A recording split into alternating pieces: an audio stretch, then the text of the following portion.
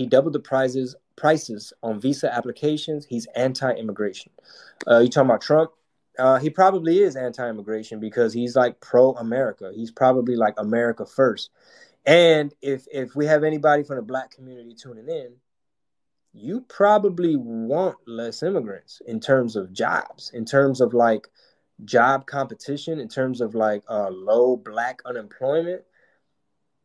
You probably don't want a whole bunch of immigrants competing for your jobs. You know You're probably right. He probably is a little anti-immigrant because he wants to worry about Americans. You know, um, I'm an American citizen. I'm not threatened by immigrants, but at the same time, if you got all these Democrats on stage saying we're going to open it up for everybody, we want an open border, we want free health care for all illegal immigrants, and uh, I mean, what's that? What's going to happen? Every everybody.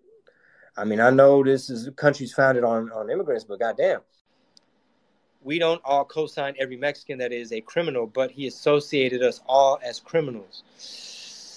Mm, he never called me a criminal. I, I'm American. He's pro America. I'm pro America. Shit, Like, I'll give you an example. I was at the light.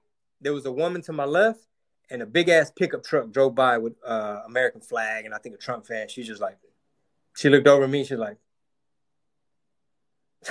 and I'm looking at her like, FOMO, yeah, man.